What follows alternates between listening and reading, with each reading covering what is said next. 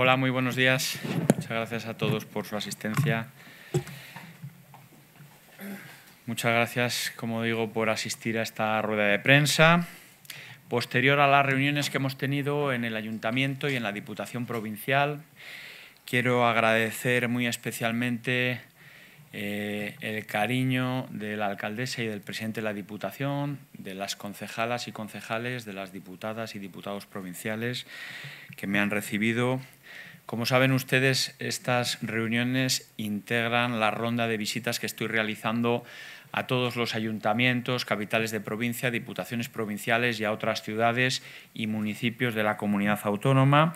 eh, dentro de un ámbito de diálogo institucional cordial. Compartimos el mismo objetivo independientemente de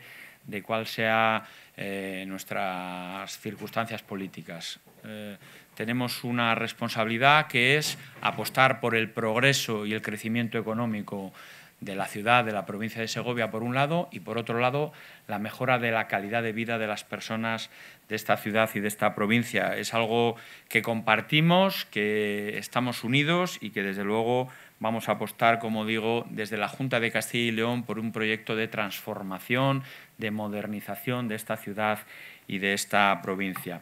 Creo que las reuniones que hemos tenido van a servir para no solo conocer más de cerca las preocupaciones, poner prioridades a lo que son las necesidades de Segovia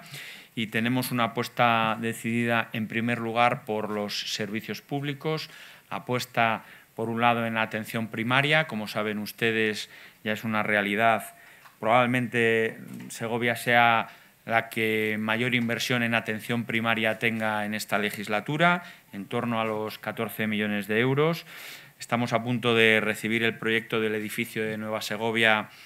que dará cabida a tres centros de salud y que impulsaremos para que sea una realidad lo antes posible. Y también, eh, como saben, eh, están finalizadas las obras del Centro de Salud de Carbonero y vamos a licitar la redacción del proyecto del Centro de Salud de Cuellar. Mantenemos nuestro compromiso para que Segovia tenga una unidad satélite de radioterapia consideramos que es algo, algo especialmente importante y que se tiene que hacer con las garantías necesarias desde el punto de vista técnico, desde el punto de vista sanitario. Decir, dentro del ámbito de los eh, servicios públicos, mm, bueno, eh, el IES de San Lorenzo eh, tenemos un compromiso de que sea una realidad, solventados los problemas iniciales, y creemos que es algo especialmente importante. Si sumamos otros proyectos educativos como el Instituto Ezequiel González, etcétera, estaríamos hablando también de eh, una inversión en torno a 15 millones de euros en esta legislatura. Por tanto, queremos que,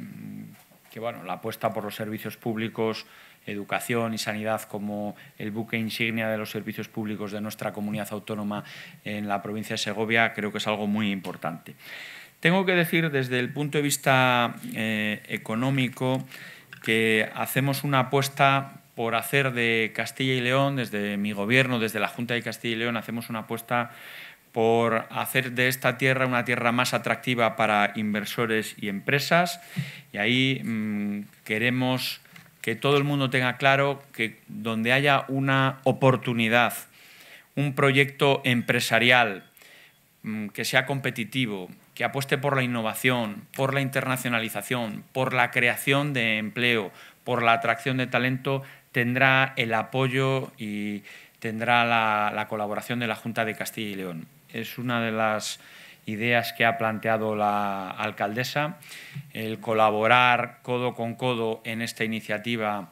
con el centro de innovación que tiene el propio ayuntamiento y nos ha parecido muy oportuno. Tenemos que trabajar de manera conjunta para hacer de Segovia, de la provincia de Segovia, de Castilla y León, una tierra atractiva para este tipo de inversiones. También queremos, eh, quiero decir que eh, vamos a apostar por algo especialmente importante eh, que es la conectividad. Queremos apostar por que eh, Segovia, Castilla y León sea una tierra donde la transformación digital llegue, no solo lleguen las nuevas tecnologías, Internet de altas prestaciones, también la telefonía, también la televisión digital, que podamos llegar a todos los rincones. Considero que es algo fundamental para hacer más competitivas las empresas ya existentes, para que puedan instalarse nuevas empresas, para que puedan eh, tener una calidad de vida mejor las familias que viven en la provincia de Segovia y para que puedan venir más eh, familias desde otros lugares, desde otras latitudes. Decir que en el Ayuntamiento eh, de Segovia, aparte de ese centro eh, de innovación, hemos estado hablando del IES de San Lorenzo, también hemos hablado de la apuesta que tenemos que hacer por la estación de autobuses, nos parece algo muy importante porque es la puerta de entrada a una ciudad patrimonio de la humanidad, es la puerta de entrada el turismo en muchos casos también para otras, no solo la provincia de Segovia, sino para otras provincias de Castilla y León. Y ahí tenemos un compromiso claro con la estación de autobuses. Hemos estado hablando, todavía queda tiempo, hay que dar pasos eh, para tener los terrenos a disposición, pero nuestro compromiso es firme de colaborar eh, de manera importante en este proyecto.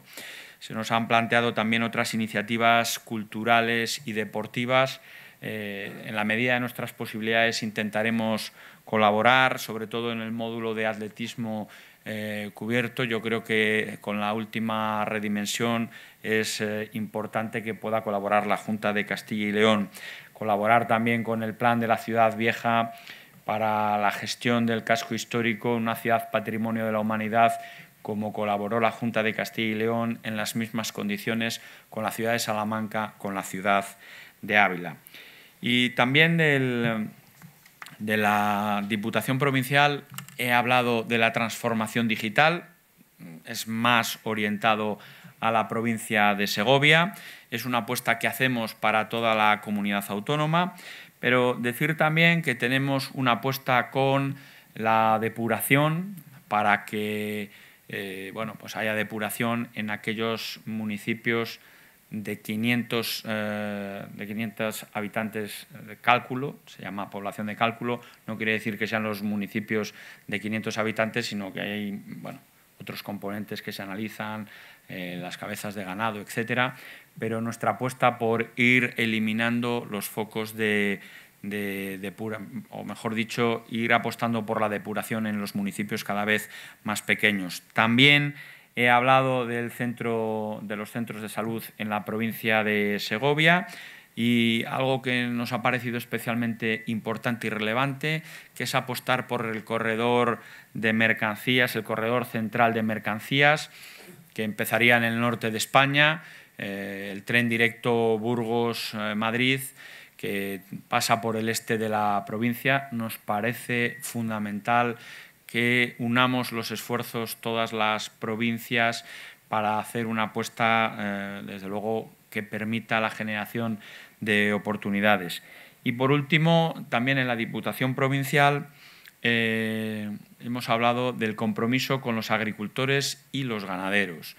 Eh, comprendemos sus reivindicaciones, compartimos sus eh, planteamientos, consideramos que lo primero que debe hacer el Gobierno de España es defender con uñas y dientes la política agraria común. Ahí tendrá a la Junta de Castilla y León a, su lado, que tiene que hacer una estrategia de alianzas para defender esa política agraria común, no solo porque defiende los intereses de los agricultores y ganaderos, sino porque es una apuesta por el mundo rural, es una apuesta por el desarrollo rural. Y si quiero hacer una reflexión en genérico,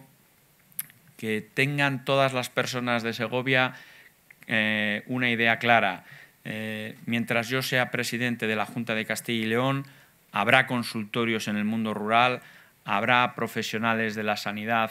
médicos en el mundo rural, que quede bien claro. Lo que queremos es mejorar la asistencia sanitaria en el mundo rural y lo queremos hacer dialogando, dialogando con los profesionales, dialogando con las alcaldesas y los alcaldes y dialogando también con las asociaciones de salud, las asociaciones de pacientes. Consideramos que la, asistencia sanitaria en el mundo rural es positiva, es favorable, es muy importante, pero también queremos ser ambiciosos y queremos mejorar esa asistencia sanitaria eh, porque nuestra preocupación son las personas que viven en el mundo rural y desde luego consideramos que tenemos que ser ambiciosos y no conformarnos con lo que tenemos. A partir de aquí, si quieren realizar alguna pregunta, creo que he hecho un repaso eh, general de todos los aspectos que hemos tratado, decirles que vamos a seguir eh, estando desde la cercanía, desde el diálogo, desde el entendimiento institucional, trabajando codo con codo con eh, alcaldesas, alcaldes, con las diputaciones provinciales, eh, para la mejora de las personas, la mejora de la calidad de vida de las personas y también el crecimiento económico y el progreso de esta provincia y de esta comunidad autónoma.